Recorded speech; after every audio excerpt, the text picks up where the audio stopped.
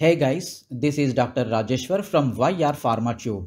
In the preceding video, we discussed the classification, properties, and clinical uses of aminoglycosides. If you did not watch the video, hit the I button on top right of this video to watch it. For the other topics of antibiotics and medicinal chemistry, click on the links given in the description below this video. Also, answer the questions given in the community tab. In this video, we shall learn the structure-activity relationships and mechanism of action of aminoglycosides.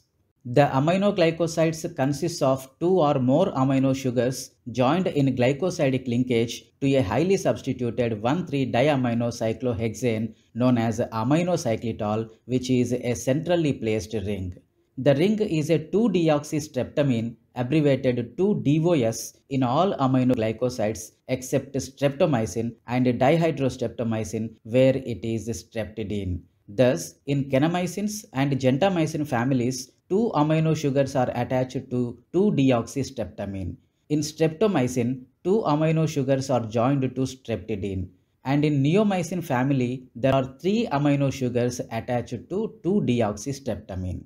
The aminoglycoside antibiotics contain two important structural features. They are amino sugar portion and centrally placed hexose ring which is either 2-deoxystreptamine or streptidine. Amino sugar portion an amino sugar is either a hexose or a ribose in which the oxygen atom forms in the ring system. The amino sugar in aminoglycosides contain an amino group at C2 and a methylamine group at C6. Centrally placed hexose ring, also known as aminocyclitol ring.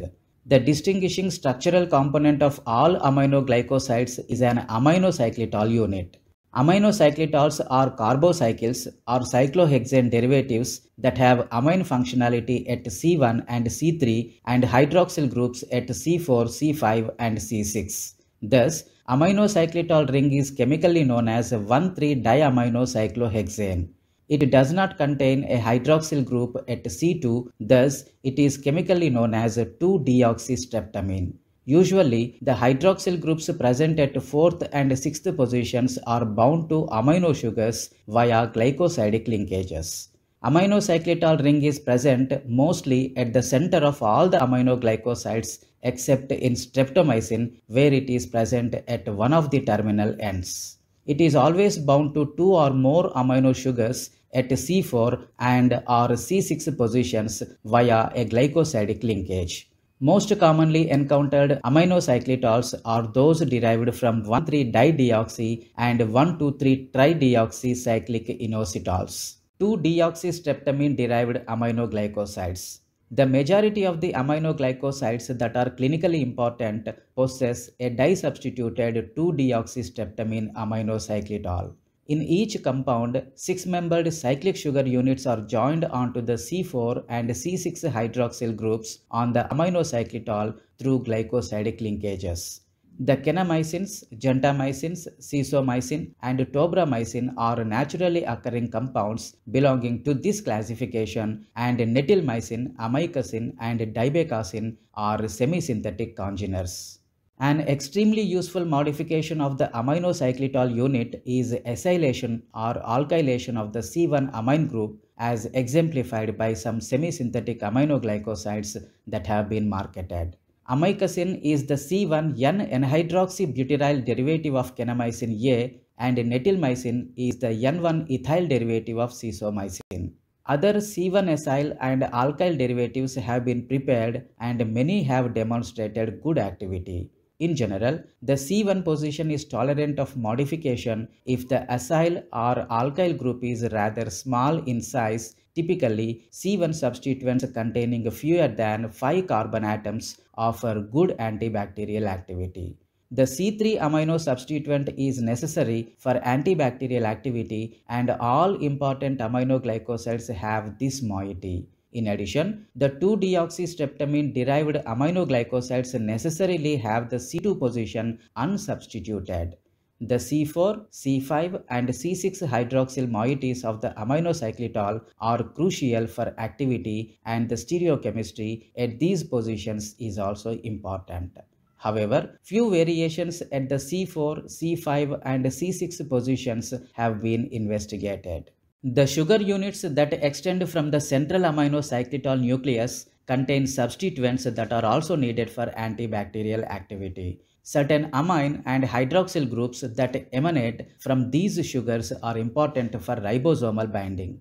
Resistant bacteria can produce aminoglycoside modifying enzymes that chemically alter these key amine and hydroxyl moieties and end result is that the modified aminoglycoside is unable to undergo ribosomal binding and thus antibacterial activity is lost. In addition, several analogues that lack these features have been chemically produced and have been shown to be inferior antibacterials.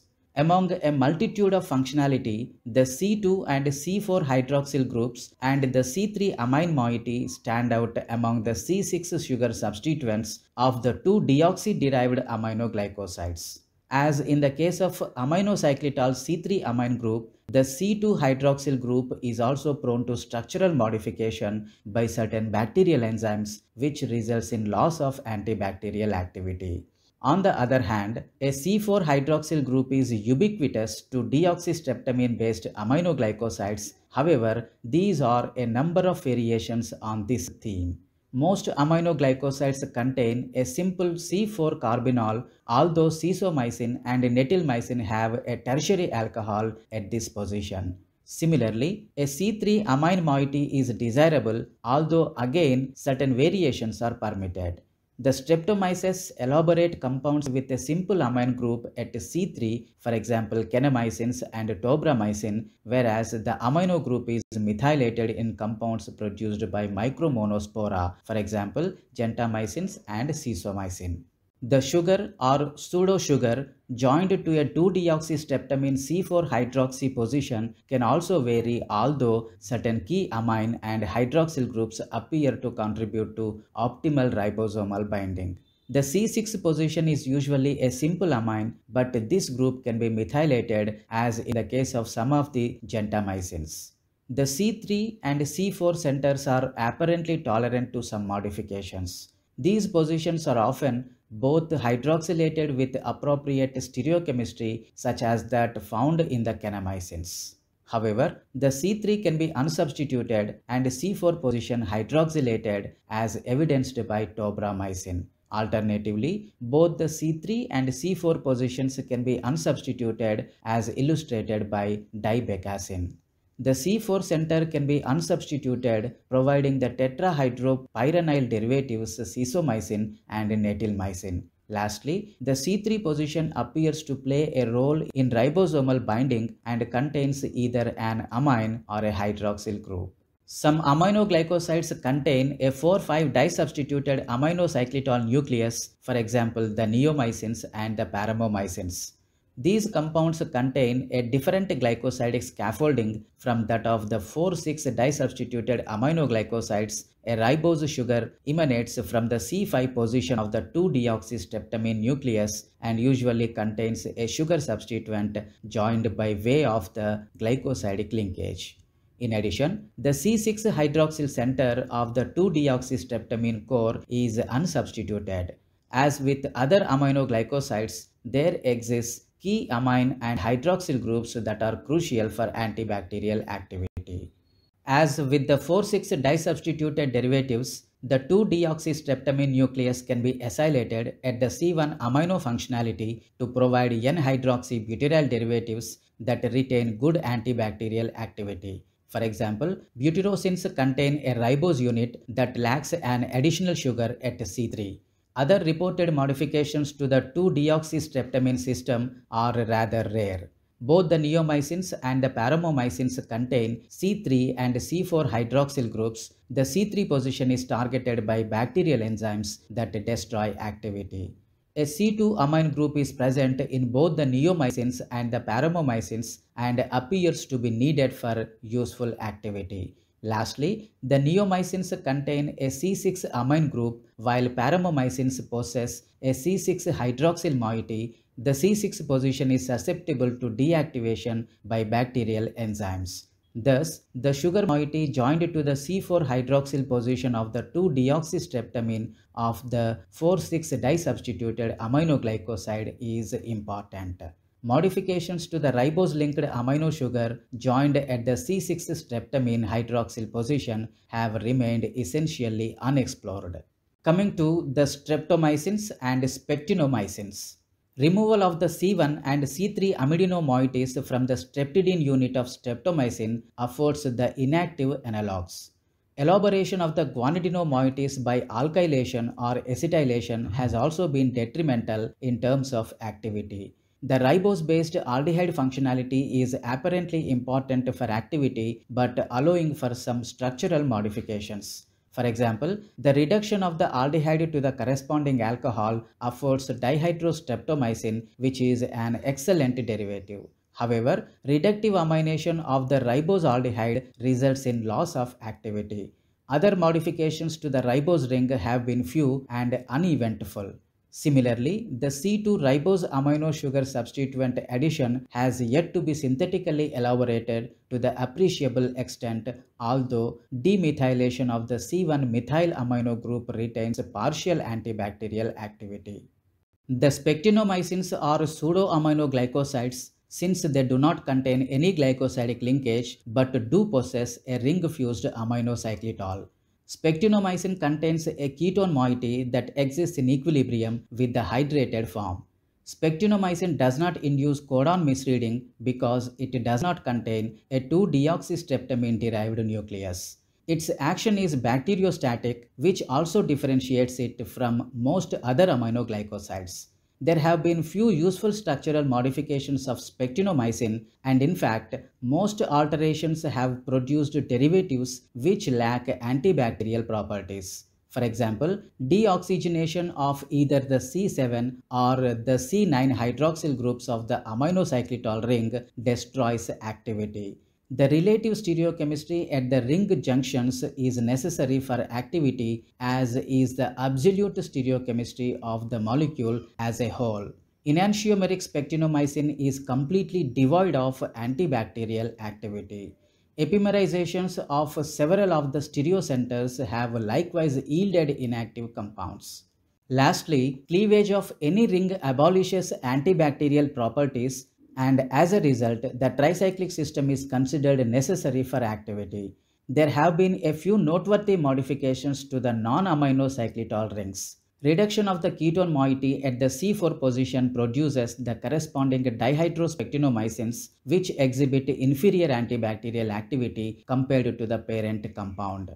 The ring can also be bis hydroxylated at the adjacent C2 and C3 positions to yield the corresponding dihydrospectinomycin which is only weakly active.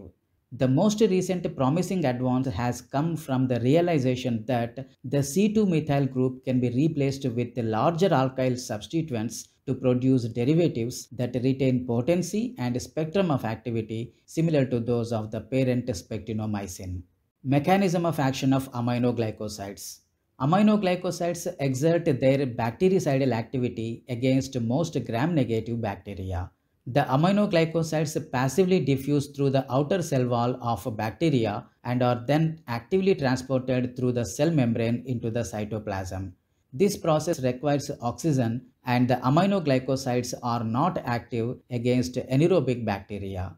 Aminoglycosides specifically bind to the 30S ribosomal subunit where aminoglycosides interfere with the initiation of the protein synthesis and cause misreading of the genetic code that is mRNA, a step in protein synthesis necessary for bacterial multiplication. This also leads to the incorporation of a wrong amino acid is inserted into the protein structure. Thus, the bacteria can no longer produce the enzymes and proteins necessary for its survival and reproduction. As the overall effect is irreversible, it leads to the bactericidal effect or death of the cell. Bacterial killing is concentration dependent. The higher the concentration, the greater is the rate at which bacteria are killed. This is the list of references followed for the lesson.